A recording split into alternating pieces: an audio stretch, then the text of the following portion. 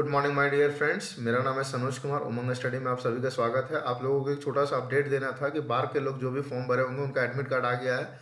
जैसा कि हमारे सामने बार का ऑफिशियल वेबसाइट खुला हुआ है, यहाँ पे आप देख पा रहे होंगे download of admit card for online exam has commence तो एडमिट कार्ड डाउनलोड कर लिया आप यहाँ पे क्लिक करेंगे, ठीक है? यहाँ पे अपना लॉगिन आईडी और पासवर्ड डालेंगे। यदि अगर आप लॉगिन आईडी पासवर्ड भूल भी गए तो कोई दिक्कत नहीं है, यहाँ पे आपको ऑप्शन दिया जाता है।